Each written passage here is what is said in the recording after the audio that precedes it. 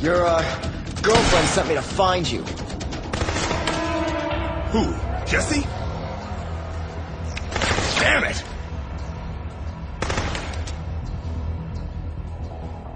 Okay, we'll have to talk about this later. You know how to use that gun?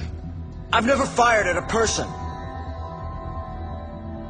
All right, I'll cover you from here. You need to stick to the shadows. Try to get close to the target, okay? And what am I supposed to do when I get close?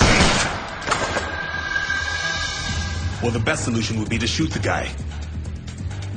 But if you can't do that, keep him busy dodging your bullets and stay out of trouble. Are you up to it? I'm a lot better with a camera. But yeah, I'll give it a shot.